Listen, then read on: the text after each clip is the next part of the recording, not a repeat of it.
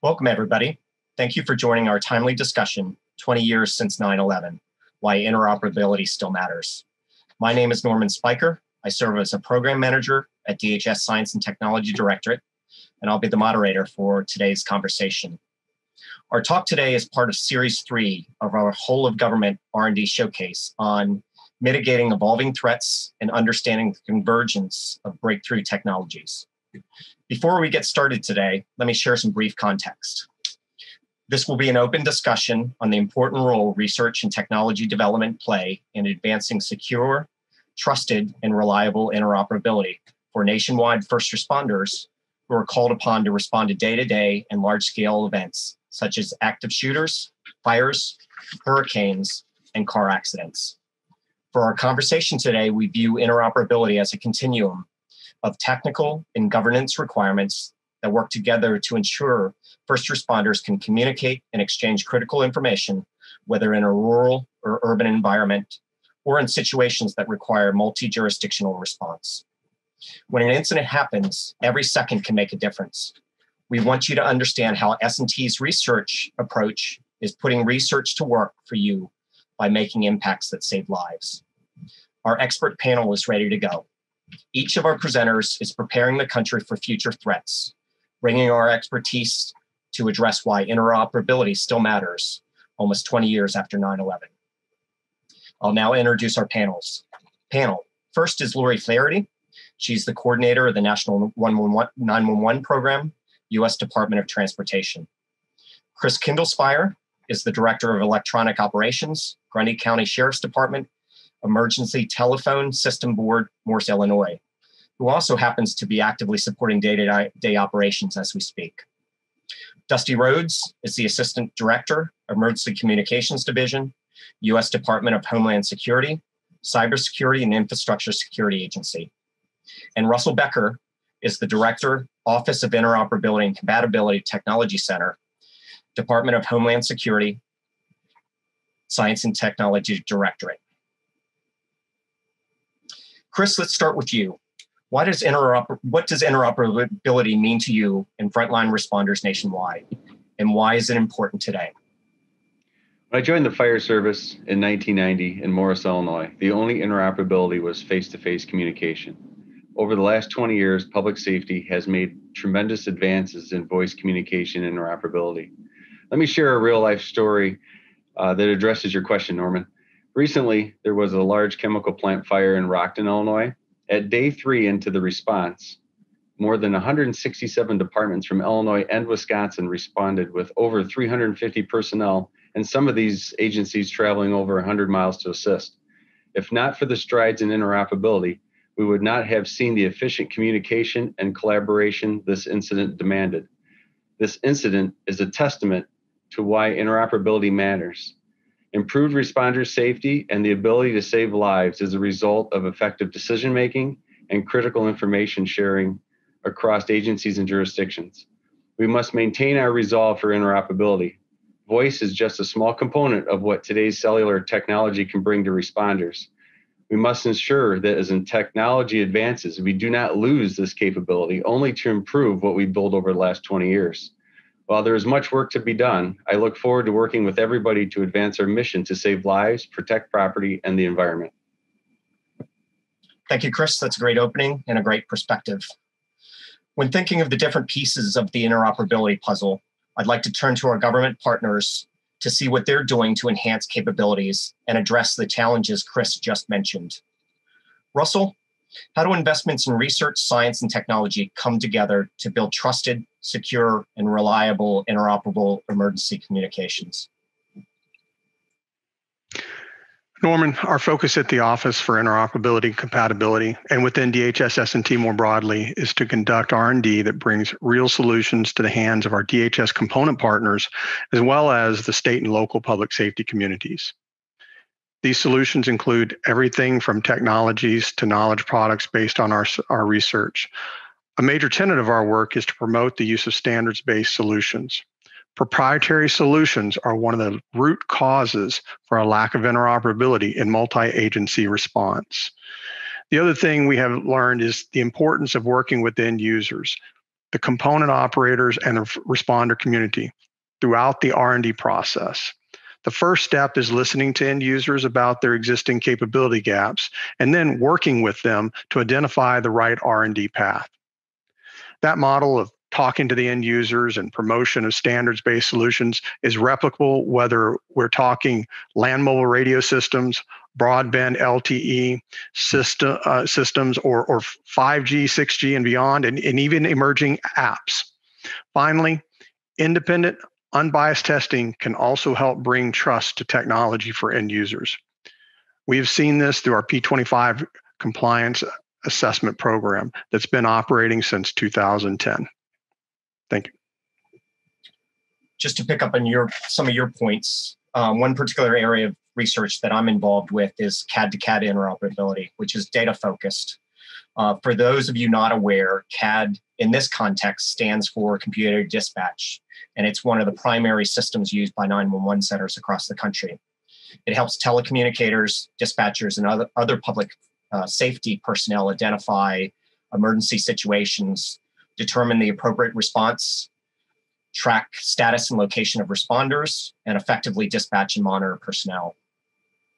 DHS S&T currently has a CAD to CAD project that is building upon previous um, and existing efforts to develop uh, standard-based capabilities for first responders so that they can access critical data in a timely manner while addressing interoperability between CAD and the other public safety systems. So you might ask, what is the lack of, how does the lack of interoperability affect day to day operations? And I can give you what happens to be a, a very recent and, and uh, very simple personal experience. While in Boston looking at colleges with my daughter, we were passing a marina outside of our hotel along the river. As we were walking, we heard somebody cry out, call 911, call 911. So I immediately got out my phone and called. And as I was explaining the situation to the telecommunicator, she asked where I was. I answered the Sonesta Cambridge and realized the potential issue and you know before it was out of my mouth. And sure enough, the operator replied, "You're in Cambridge. This is Boston Dispatch. Let me transfer you." At which point I I was connected to Cambridge Dispatch and I had to start all over. Now, in this situation, it didn't adversely affect the, the outcome, but for many emergency responses, minutes and even seconds can be critical. CAD to CAD efforts are not new. However, they have there has never been widespread adoption of a standard approach or a standard capability. In addition, the amount of information that's now coming into 911 centers is exponentially increasing. As a result, CAD to CAD is only part of a much of a, subset of a much larger ecosystem and a more complex interoperability challenge. Where this particular research is addressing some of the problems of today, Laurie, I know you're focused on today and you have an eye towards um, some of the issues of tomorrow. So, can you tell us a little bit of what DOT is focused on and why? Sure. Uh, the 911 program at the DOT is currently focusing on supporting the deployment of the next generation of 911 technology and operations with state and local 911 agencies. Uh, by definition, next generation 911 or NG 911 is a nationwide, interconnected, secure system of 911 systems. So, interoperability and security are both essential parts of that system. Uh, Next Generation 911 will enable the nation's 6,000 911 centers to transfer calls when one of them is overloaded because of an incident. That's something that can't happen today. I'll give you another example of uh, another use case that is currently not possible. Callers will be able to send photographs to 911, and 911 will be able to send those on to emergency responders. But they'll only be able to do that if their systems are interoperable. So, to give you three examples of projects we're currently working on that have that inter prefix in, in it, uh, we're currently uh, co sponsoring an interoperability testing model with the Science and Technology Directorate. That'll be important in providing objective information in terms of measuring exactly how interoperable systems are. We're working with states to develop an interstate playbook for states that are at a point at their, with their own 911 system that they're beginning to think about interconnection issues with neighboring states. Uh, this will provide a playbook that will allow that process to be reproduced from one state to another. We're also working on uh, technology requirements or, or the technical specifications for interconnections between NG911 and broadband networks like FirstNet. Uh, information on all these projects is available on 911.gov, and they all support moving from concept to reality um, to enable the 911 system to do things that it's not capable of doing now. Thank you. That's great. Thank you. Uh, Dusty, I'll turn to you. Um, how is CISA focusing on emergency communications and cyber risks? And can you speak to mobile devices and what inherent challenges and impacts you face with addressing evolving threats and, and global tech advances? Thank you, Norman. The ability to maintain voice and data communications at all times is critical for public safety agencies to perform their life saving missions. Interoperability is increasingly important, important as our world becomes even more complex every day. By establishing resiliency measures, public safety communications can better withstand disruptions to service. Cybersecurity is a shared mission across all levels of government, the private sector, non governmental organizations, and the public. In this context, organizations must take proactive measures to enhance their overall cybersecurity posture. As achieving secure and resilient communications is essential for agencies to execute their mission, first responder organizations should use available resources to assess cybersecurity and resiliency of their networks. Public safety organizations are also increasingly becoming the targets for cyber crimes, such as ransomware attacks. The Cybersecurity and Infrastructure Security Agency, CISA, in collaboration with our stakeholder groups, SAFECOM, the National Council of Statewide Interoperability Coordinators, the Federal Partnership for Interoperable Communications, and the Emergency Communications Preparedness Center developed resources and tools such as the Public Safety Communications and Cyber Resiliency Toolkit, which is a collection of resources to assist public safety agencies and others responsible for communications networks in evaluating current resiliency capabilities identifying ways to improve resiliency, and developing plans for mitigating the effects of the potential resiliency threats. This information is available on the SAFECOM and the CISA websites. Thank you, Norman. Appreciate it, Dusty. Thank you. Russell, turning to you, uh, can you tell us some of the barrier, the other barriers and challenges research that you're working on is addressing? Norman, it's certainly not lost on us that industry has varied objectives, including profits and market share. Government has a role too, and more often than not, we find ways to work with one another toward the common good to help bring new enhanced capabilities to end users. We value our industry partnership. In fact, without industry investment and expertise, we wouldn't have many of the capabilities end users have today. However, we must have our industry partners work with us and meet interoperability standards and seek their market share through other means, such as enhancing quality and add on capabilities, rather than resorting to proprietary protocols that put interoperability at risk. In addition, although it may seem odd to hear this from the DHS S&T guy over here, over, over the years, it's become abundantly evident that technology is only part of the puzzle. As I'm sure Dusty would further attest to if we had more time, things like governance, usage, and training all very much matter when trying to achieve interoperability. Thank you. Thank you, Russell. So we have about one or two minutes remaining, and I have one final lightning round question, and I need very brief responses, one or two sentences. So my question is, what is your takeaway from today? When thinking of why interoperability matters, what is the one thing for our audiences, the audience, sorry, to take home?